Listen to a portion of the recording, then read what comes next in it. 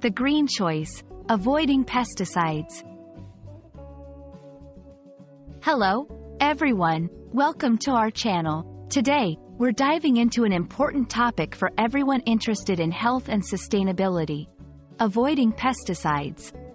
Whether you're a student, a professional, or simply someone curious about making healthier choices, this video will shed light on why and how to avoid pesticides in your daily life.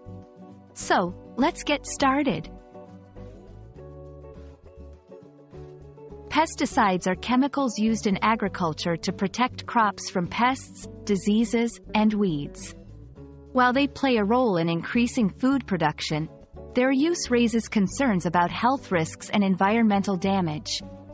Exposure to pesticides can lead to health issues ranging from mild skin and eye irritation to more serious conditions, including respiratory problems, hormone disruption, and even cancer.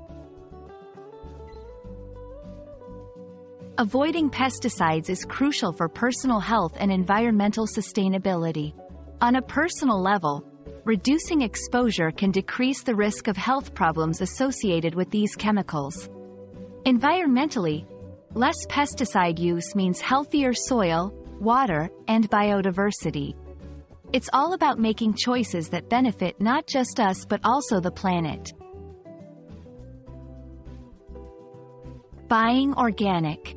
Opt for organic foods. These are produced without synthetic pesticides, offering a healthier alternative for you and the environment. Washing and peeling.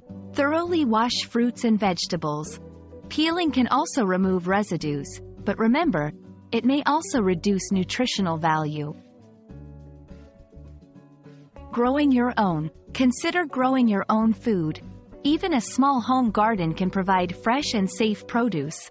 Supporting sustainable practices. Support local farmers and producers who use sustainable agricultural practices. This not only helps reduce pesticide use but also supports the local economy. We hope this video has provided valuable insights into avoiding pesticides and making healthier, more sustainable choices. Remember, every small step counts towards a healthier life and a greener planet. Thank you for watching. And don't forget to like, share, and subscribe for more informative content. See you in the next video.